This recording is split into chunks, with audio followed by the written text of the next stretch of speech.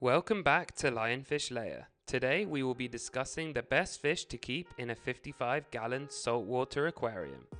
A 55 gallon tank is a brilliant size for anyone who wants to keep a variety of different fish without taking up too much space. The fish on this list will all share similar tank requirements, making them as compatible with the environment as they are with each other. So, ensure that your 55 gallon tank has a temperature ranging between 72 and 82 degrees, a pH level between 8.1 and 8.4, and a salinity range of 1.020 to 1.025.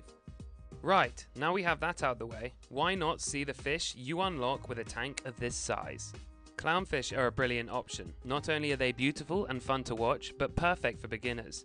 You can also house some of the larger species too in a tank of this size. Another great fish for a tank of this size are blennies. They are super fun to watch do their thing, and I just find their appearance and overall behaviour rather amusing.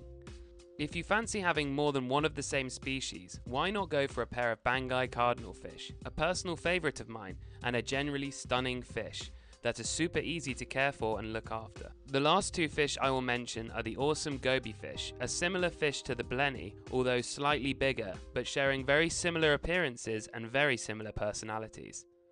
Oh, and it would be incredibly rude of me to forget about the chromis fish too. Thanks for watching guys, I hope to see you next time on Lionfish Lair. Make sure to like and subscribe if you enjoyed the video.